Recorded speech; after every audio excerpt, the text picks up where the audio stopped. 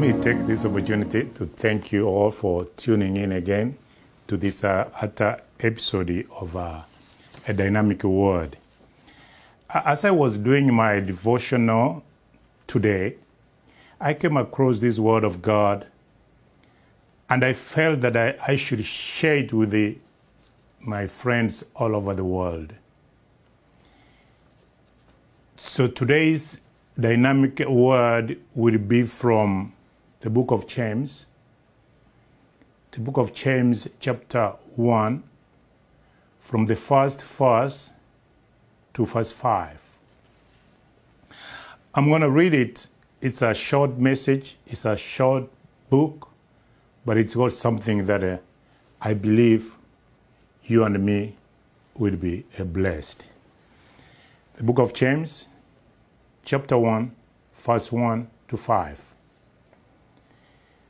I, James, a servant of God and of the Lord Jesus Christ, to the twelve tribes scattered among the nations, greetings. Consider it pure joy, my brothers and sisters, whenever you face trials of many kinds, because you know that the testing of your faith produces perseverance. Let perseverance finish its work so that you may be mature and complete and not lacking anything. If any of you lacks wisdom, you should ask God, who gives generously to all without finding fault, and it will be given to you. Today's dynamic word is very important to our lives. James tells us that we need to do what to do, what we need to do. He tells us, he puts it very clear in a simple language that we can all understand. He tells us that what we need to do when we face challenges. He tells us what to do when we are in storms. Everybody agree with me that right now we are going through challenges. The world is confused. The leaders, the kings, the presidents, the queens, religious leaders, people are confused. We need to pray for our leaders to have wisdom in their decision making. James says in verse 5 If any of you lacks wisdom, you should ask God who gives generously to all without finding fault, and it will be given to you. We are in those days that if our leaders make any bad decisions, we will be affected now and in the future. We need to pray for our leaders. If our leaders make wrong decisions, the whole nation will perish. We are in challenging moments. We are in difficult days. I know there's a lot of anxieties, there's a lot of frustrations, a lot of excitements. People are worried, people are concerned, people are concerned about their future. Parents are worried about their children's education. People are worried about their resource. Their income has been destroyed. Business are shut down. People are worried on how they are going to pay for their rent and mortgages. People are worried about their health and the loved ones. People are even scared of going to the hospitals because of COVID 19. People are worried as to where their next meal will come from.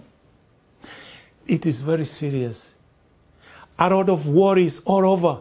Let me tell you that if this lockdown does not end, if this situation is not controlled, if God does not intervene, my brothers and sisters, people need to need to wake up to pray hard. We need to pray more, more and fast and cry to our God. People are worried. It's worry, worry, worry all over the place. It is all over worries and worries, concerns. But I'm here to tell you that I want to tell you, I want to remind you, I want to remind you that I have said this several times. I have preached this several times. I have said, and I will keep on saying this. I have said it over and over again, and I will not stop saying that. It's like this. It's simple. The God we serve has not stopped being God. He is still God and has, has all the power to change and turn any kind of situations around. He is the Alpha and the Omega. He is the start and the finish of your lives. He is God who never changes. The first we have just read from the book of James, chapter 1, it says, James is actually telling us what we need to be doing. He is speaking to us on how we should respond in times of crisis and challenging moments. In the first and second verse, he is giving us some advice. He says, in every, in every situation, count it all joy. In other words, no matter what situations or circumstances, no matter what you are going through, no matter the storm, just count it all joy.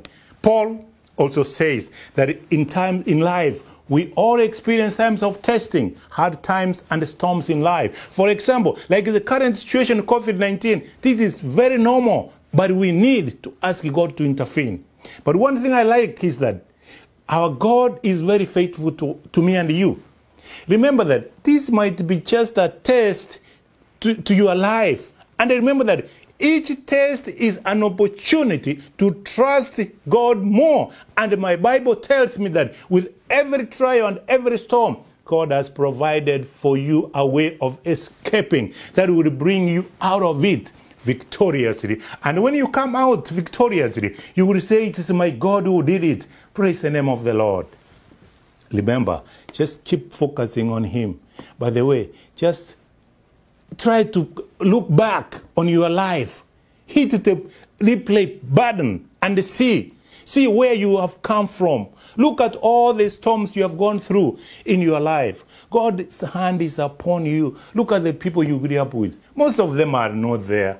They are no more. But God has kept you. He has spared you just for, for His grace. He didn't keep you all this time to leave you in the hands of Corona. This is your time to get to your destiny. Corona is a bridge to your destiny, and you will reach there in Jesus' name. Hallelujah. He spared you in worse situations. Now, what is Corona? Corona is just a name like many other names. We have had Ebola, cancer, malaria, flu, and all other names. But we are only scared of one name. That's the name of Jesus Christ. You should only be scared of one name when mentioned. The Bible says that this name, every knee shall bow by the mention of this name. Every knee shall bow. Every knee shall bow of, of those in heaven and of those on earth and those of under the earth. That's the devil. And that every tongue should confess that Jesus Christ is the Lord to the glory of God the Father. Amen. So Corona should not scare you at all. Be courageous. God would never leave you nor forsake you. Don't be scared of the news. It says men have died, men have been infected. That it shouldn't bother you. Psalms 91 says that I will. That is the Lord saying, He is my refuge and my fortress, my God in, in Him I trust. Surely He will deliver you from the any evils. He shall, he shall cover you with his feathers, and under his wings you shall take refuge. His truth shall be your shield and buckle. We are his children and covered with the blood of Jesus. I like that. He says, under his wings you shall be take leverage. Don't be scared. He says that. He says that a thousand may fall at your inside and ten thousand at your right hand, but they shall not come to you. Let them fall. Let them fall. It shouldn't bother you. You are a child of God. James says that give God the glory at all times, in all situations and in all circumstances. Learn to praise God. When his people turn and fall wicked ways, he feels bad. Think positive.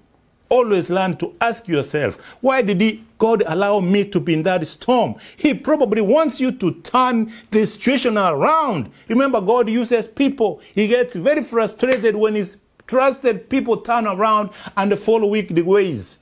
You are a servant of God. You need to be a light to the Gentiles. That's why He has kept you till now. We may not know how this corona is going to end. We may not know what is going on. We may not know how we are going to come out of this pandemic situation. We may not know how the leaders are going to react if the situation don't change. We may not know what is going to happen to the economy. We may not know what tomorrow holds for us. We may not know where our next meal will come from. But one thing I know and believe and I can assure you that the God I serve is in control and, and he knows the situations that is at hand and he has a solution to it already for his people. The same God who healed the sick, cast out demons, raised the dead, and calmed the storms. He will definitely calm any storms in your life. And the corona is a storm with no winds. It's done and calmed in Jesus' name. Just believe that God is going to show up and calm every troubled situation in your life. I know and feel that something good is happening in the spirit. Something is being done. The angels are busy working stuff on your behalf. Well, you may ask, how do you know, Pastor? I know because I have a personal relationship with God. I am not worried. I am not stressed. Every day I wake up, I just worship Him and give Him thanks for the grace He has bestowed on me and my family. So, do you also want to know Him that way so that you can enjoy all the benefits of as a child of God? Then I'm going to give you a chance to accept Him, and He will give you all the protection that you need. You are missing a lot. And the more you stay out, you are a loser. We are in the kingdom and enjoying all the benefits that come with eternal life. God says that if my people, okay, are you his people? I want to give you a chance to become his people. If you doubt, if you doubt, just make a step. You need to make a decision and accept Jesus as your personal Savior. It is simple. Paul says in Romans 10 9 that if you declare with your mouth that Jesus is Lord and believe in your heart that God raised him from the dead, you will be saved. If you declare and confess with your mouth, it's very simple. You will have the relationship that I am talking about. My brother, my sister, just imagine. If this corona had swept the whole world, where would you have been? Can you imagine where, could, where you could be at this time? Where could you be? You need to book your spot in eternity. I enjoy all the benefits because I know Him. And I can attest to you that I can tell you that without him, I could not be here today. I love my God so much. What are you waiting for? You need to be the light. You need the light in you. Jesus is knocking. He's standing outside. Open the door for him to come in. Revelation 3:20 says, Behold, I stand at the door and knock, and even one hears my voice and opens the door, I'll come in. Oh my goodness. Guys, Jesus is knocking. We are his voice. Open your heart. Let him come in and take control of your life, and you will not be the same in Jesus' name. Our God is the King of glory. He is our Lord, strong and mighty. The Lord mighty in battle. He will fight battles. He will, he will fight all the battles in your life and come all the situations. Open the door and let him in. Rise up and declare and say these simple words and you will be okay. Repeat these simple words and you will be saved. And your relationship with the, the Lord will be okay. I want you to say this and repeat these words, which I'm going to tell you. Just say them when it, with meaning, you mean it. Say from your heart. And reflect on every word that you say, believing. Okay, repeat. Raise up your hands as a sign of surrender that your house is open. And say this Heavenly Father, say this, Lord Jesus. I know that I'm a sinner. And I ask you for forgiveness. I believe that you died for my sins and you rose from the dead Father, I now turn from my sins and my wicked ways. Father, I know I now invite you to come into my heart and my life and make me a new creature, Lord. From now on, I need to be a new creature.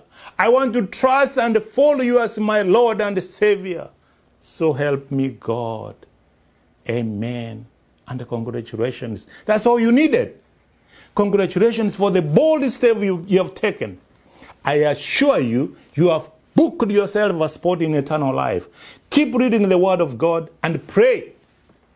Right now, the angels are celebrating on heaven on your behalf for the wonderful move that you have made. God bless you and keep you, and may you shine as the light. God bless you and keep you safe. If you've been blessed with this message, please, you can share it with your friends and loved ones so that they can be blessed too. Remember that you could be a bridge of salvation to your friends and your loved ones. This is a time he- heaven and earth rejoices when a soul is saved.